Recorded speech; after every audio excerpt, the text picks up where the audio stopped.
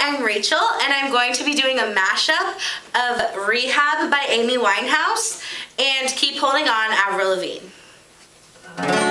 They try to make me go to rehab. I said no, no, no. Yes, I've been black, but when I come back, you'll know, no, no. I ain't got the time, and if my daddy thinks I'm fine, he's gonna make me go to rehab, but I won't go, go, go.